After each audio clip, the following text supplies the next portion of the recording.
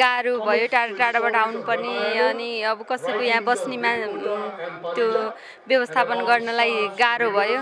त्यसले गर्दा होला। हाम्रो चाहिँ अरू जस्तो अरू विश्वका अरू देशहरूमा जुन व्यवस्थित तरिकाले एउटा चाहिँ ग्रेजुएसन गराइन्छ त्यो किसिमको त हाम्रो नभएको कुरा त सत्य नै लाग्छ। आए पनि खास त यसमा केही नेसेसरी केही उपलब्धि अब छ भन्ने मात्र भयो क्या यसमा कुनै व्यवहारिकता नभएको कारणले हो कि जस्तो लाग्छ। आएर एउटा गाउन लाएर फोटो खिचाउने अनि त्यहाँबाट सर्टिफिकेट कलेक्सन गर्ने मात्रै हो र त्रिभुवन विश्वविद्यालयले पछि पनि सर्टिफिकेट कलेक्सन गर्ने फेसिलिटी राखिदिएको भएर सायद नआउनु भएको होला जस्तो लाग्छ। फर्म त भरि अब डकुमेन्ट लिन त्यसै बल्खु जाँदा ठिक हुन्छ। त्यहाँ त अस्तव्यस्त लिन पनि पाइँदैन केही गर्न पाइँदैन भिडभाड मात्रै हो।